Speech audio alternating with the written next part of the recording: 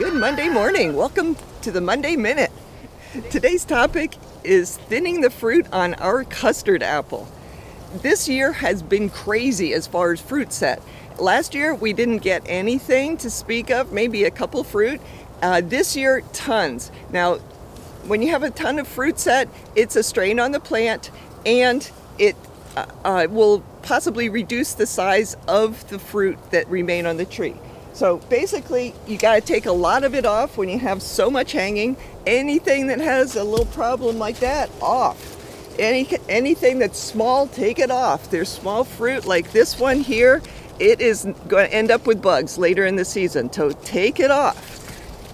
So just keep snipping, be bold, take it off. Anything that's small or too many on the branch, take it off.